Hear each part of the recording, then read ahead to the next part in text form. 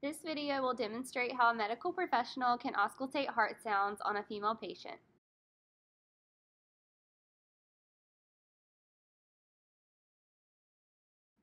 There are four main points of auscultation.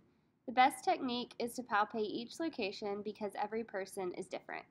The first sound is the aortic valve, which is located at the right border of the sternum in the second intercostal space. The pulmonary valve sound can be heard at the left border of the sternum in the second intercostal space. The tricuspid valve sound is located at the left sternal border in the fourth or fifth intercostal space. And the mitral valve sound is located in the fifth intercostal space at the midclavicular line. Auscultate these four areas in order, first with the diaphragm, then with the bell of the stethoscope. This demonstration is an example of heart auscultation on a female patient and how to appropriately drape. Prior to auscultation, make sure you've observed your patient for cardiovascular signs and symptoms. Explain to your patient what you will be doing and ask permission before performing auscultations.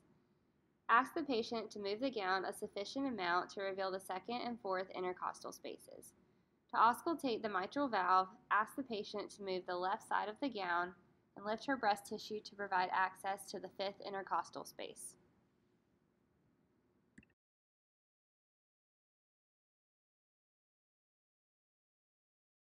During auscultation of heart sounds, stand to the right of the patient to keep the stethoscope tubing in a straight line. Remember to listen first with the diaphragm and then with the bell of the stethoscope in order to hear all heart sounds.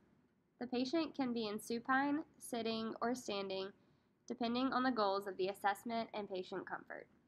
There are two normal heart sounds that correspond to the closure of valves.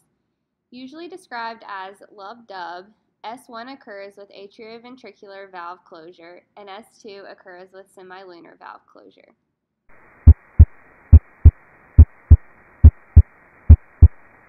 A murmur is another abnormal heart sound an examiner should be aware of. It is caused by turbulent blood flow resulting from abnormalities such as stenosis or regurgitation.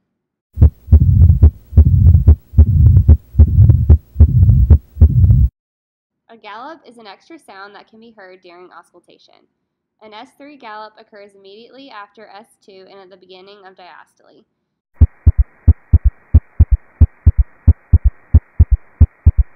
An S4 gallop occurs at the end of diastole and immediately prior to S1. Both sounds occur due to blood hitting the wall of the ventricle.